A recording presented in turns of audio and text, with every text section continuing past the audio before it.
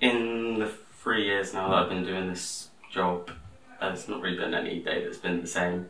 Um, a section of your day will be doing could be doing personal care with clients, um, but a lot of it is just supporting them to live their lives as normally and as healthy as possible and as safely as possible as well.